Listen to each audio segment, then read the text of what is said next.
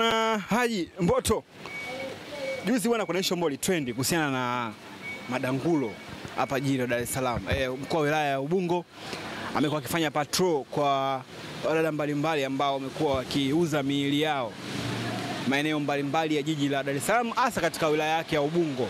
Amezungukazunguka na baadhi ya wakina dada ambao wamekuwa wakiuza miili yao, wengine tunafahamu kama madada poa wameshikiliwa kutoa kizuizini na wengine amesema kwamba mkuu wa wilaya atawapeleka mahakamani kwa ajili ya kujibu mashtaka. Biashara ambayo wanaifanya si halali, inahamasisha masuala mengine ya ngono na uvunjifu wa maadili.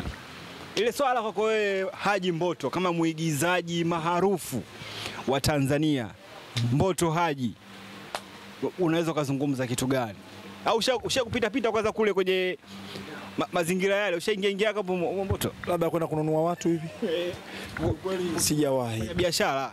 Hapana, sijawahi kununua watu. Yaani kwenda pale labda kupiga misele? Au kuuza chochote. Sijani si eh, mimi uh, Temeke pana mtaa unaitwa Sudani pale. Pale Sudani, ulikuwa unashuka ule Sudani na una, unaingia kwenye uchochoro wake ambao umeambatana na Mkumba na Temeke hospitali. Ule mtaa ukienda nao mpaka chini unatokea Masangati, kuna wamama walikuwa wana, wanajiuza pale kwa haya eh, eh, lakini sidhani sasa hivi kama watu wapo wana, wanafanya hizo biashara. Sina, sina, sina ah, unapajua pale pale, napajua kwa sababu mimi nimezaliwa kule. nimezaliwa kule pita pita sana. Sasa tukirudi kwenye point kwamba tunalichukuliaje hili swala uh, kuwaondoa Maanake nilisikia siku moja mkuu wa mkoa bwana Albert Chalamila aliwahi kusema madada poa muda mwingine wanawapokea watoto wadogo wa shule. Nakumbukaga hiyo kauli, kama sio yeye basi kuna mtu kwenye ule msafara wake, kuna mtu aliwahi ku- kuthubutu kusema, kwa sababu ndicho kilichowapelekea mpaka serikali kuchukizwa na hii tabia kwamba basi madada poa wapokeeni basi wao watu wazima tu, kwamba mnawapoa mna, mna, mnawapoa mpaka wa, watoto au sio bwana? Sasa mtoto anayezungumziwa hapo ni chini ya miaka 18. Akishakuwa mwanafunzi tu huyo mtoto tu yani hata iweje yeye mtoto tu, kwa sababu lazima ataenda kuchukua pesa kwao, ataenda atazileta huku. Kwa hiyo eh, hilo nafikiri linawezekana. Sikumbuki nani vizuri alizungumza, lakini nakumbuka kwenye msafara wake ilikuwa Mwananyamala, kitu kama hicho. Kuna mtu alipata kuzungumza, kama sio yeye mkuu wa mkoa Ni yeye mkuu wa mkoa alienda ilikuwa ni kuvunja eneo la Mwananyamala pale nyuma kwenu kule Mboto. Sasa alipokwenda akazungumza pale, mimi mwenyewe sikupenda, sikupenda kwa sababu uh, kuwapokea watoto waingie kwenye hizo mishe ni tatizo, hapo wamekosea. Lakini sasa nirudi pia kwenye pointi, wanapokwenda kuwakamata wanapokwenda kuwakamata madada poa, sitamani kuona kwenye TV kwa sababu sitamani kuona kwenye TV kwamba madada poa wameenda kukamatwa Ni biashara haramu. Sitamani kuona inawezekana kuna mtu amekwenda kutembea labda uh, uh, madada poa wako hapa, kuna mwenzie labda amesoma naye labda mkoa huko bwana, mimi nimekuja Dar es Salaam, uko sehemu gani bwana? Njoo bwana, nitembelee sehemu fulani. Na huyu mtu inawezekana sio dada poa, lakini amekuja kumtembelea rafiki. Anafika tu anavutiwa kigoda tu, anakaa. Polisi wameingia, wamemkamata, waandishi wa habari wamemrekodi. Baada ya kumchukua, kwa sababu serikali yangu sikivu, ikishachukua mtu si wanaenda naye kufika labda kwenye uchunguzi, kuna uchunguzi unaenda kufanywa, sijajua wanachunguzaje, lakini watakapokuja kugundua kwamba huyu mtu uh, hausiki na hili jambo tayari ni shida, umeshamchafua yule mtu kwenye yale makamera. Kama kama usiki Mboto pale pale pale unafanya nini pale kwenye lile dangulo? Mimi ninapoenda feri kununua samaki, mimi na, na, na, nauza samaki Pale sio feri. au mimi mm -mm. Ninapofika sehemu hapa wanatengeneza pikipiki, wewe unahusika, tufanye wamekuja kukamata, wanakamata wa, watengeneza pikipiki wa maeneo haya yote. Hii ni biashara ya halali. Nisikilize basi, ndio wamekuja sasa, wanawakamata kwamba tunawakamata hawa, wana, wanasababisha kuna wizi wa pikipiki unafanyika sehemu fulani. Wezi wa pikipiki ni hawa mafundi wa pikipiki.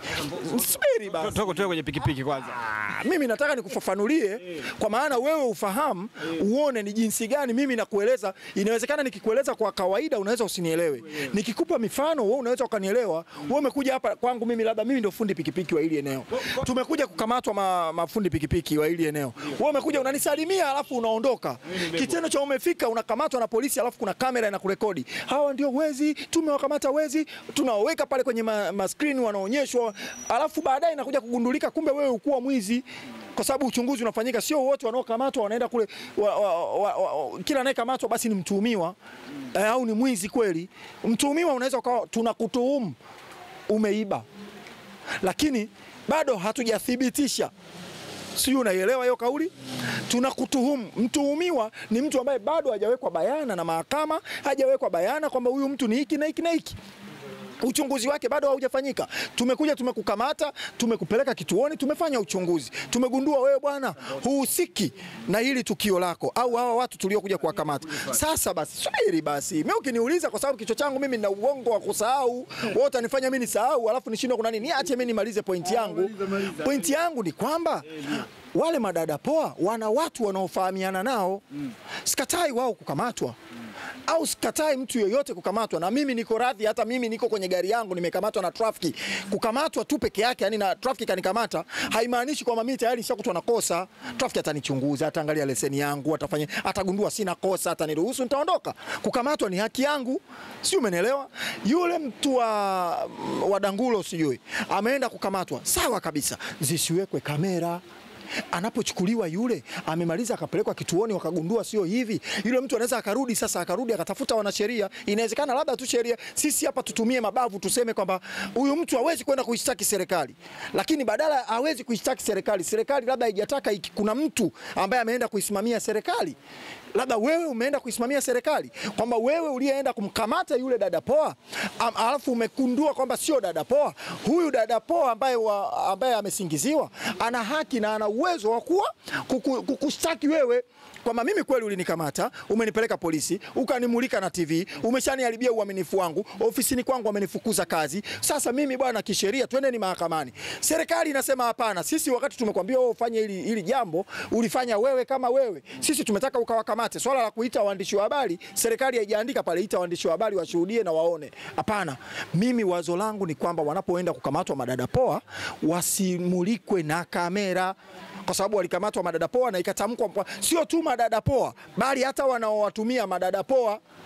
Lakini jingine, mimi naenda mbali zaidi kwamba watu wameanza kukamatwa hata kwenye magesti.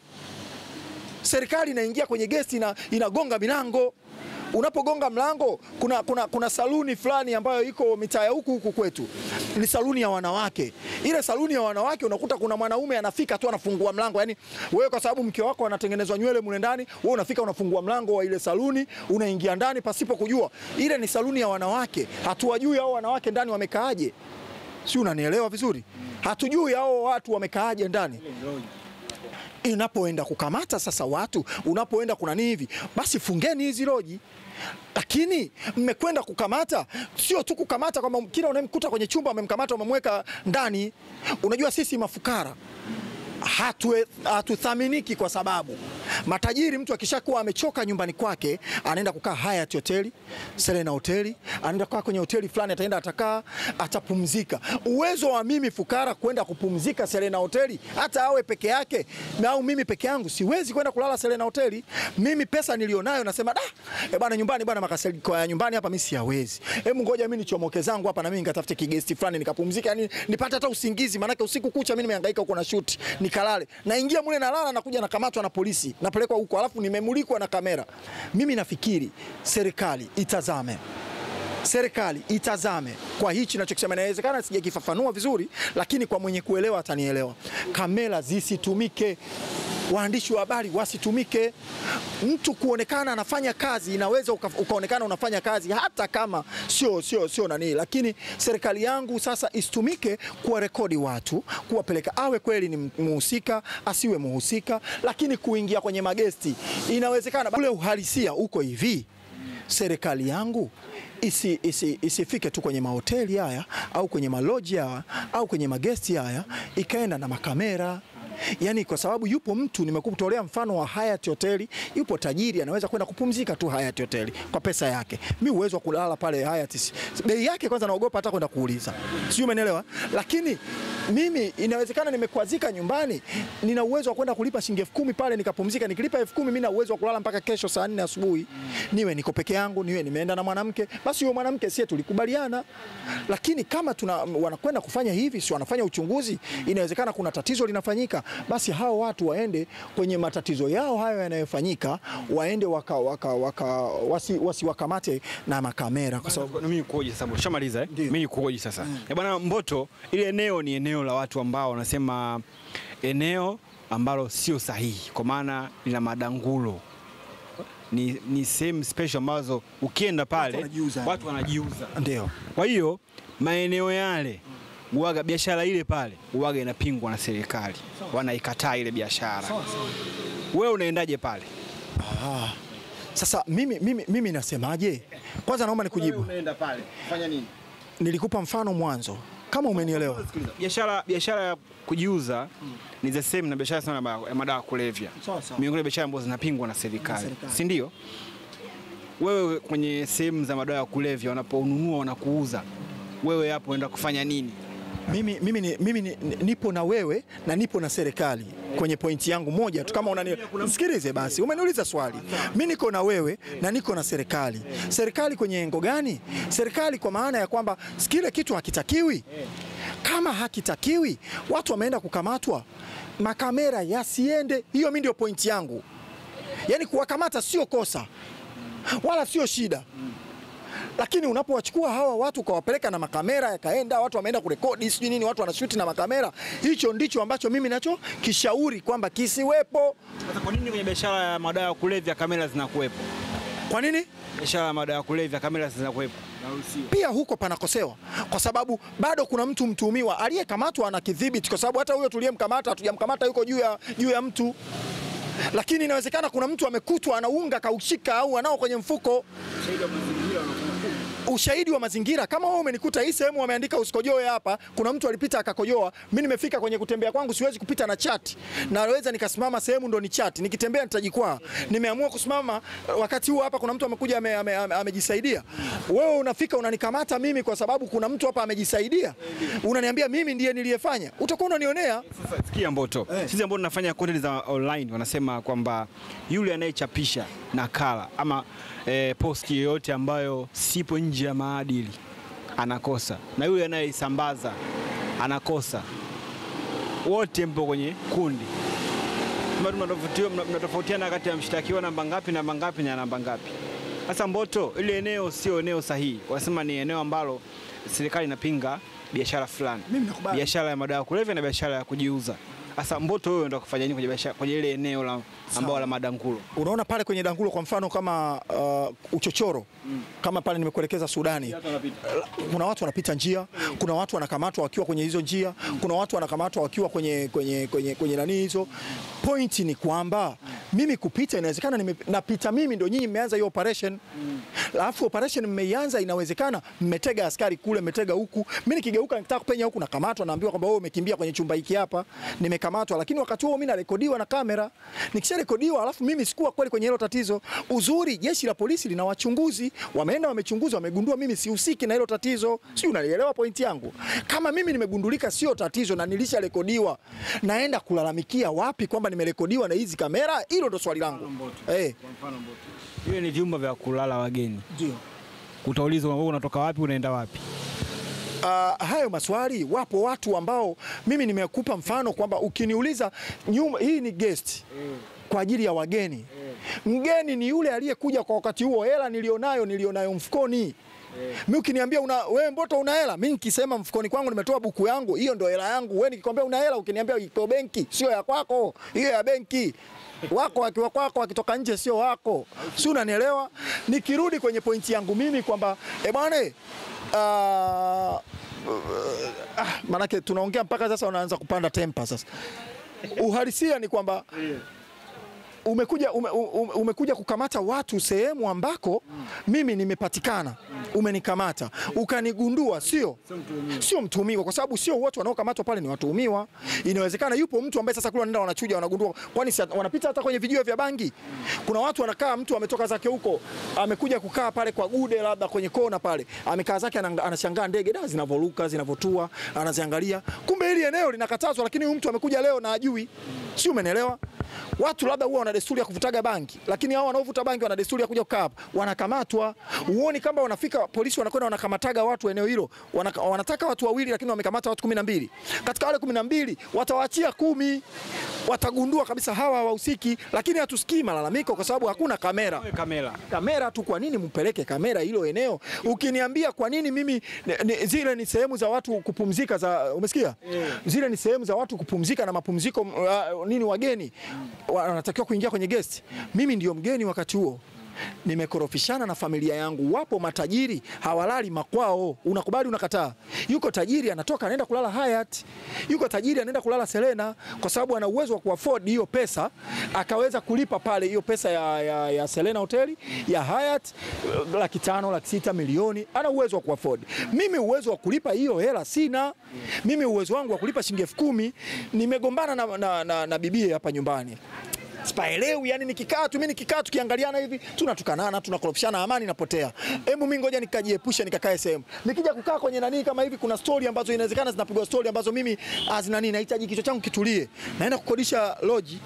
Nimeingia loji, nimekaa zangu, nimepiga zangu usingizi. Baadaye polisi wanakuja wanakamata, naweza nikaambiwa labda kuna mtu alikimbia, na ukweli inawezekana polisi wakati wananikamata wamenigundua niko peke yangu nimekamatwa niko mwenyewe, lakini siwezi kuachiwa. Nitapandishwa kwenye gari, nitaenda polisi. Polisi nitafanyiwa uchunguzi, watagundua kwamba jamani, katika tuliowakamata huyu hatukukuta ame, amelala na mtu, tunamwachia. Kule kuna kamera yako imesha nirekodi.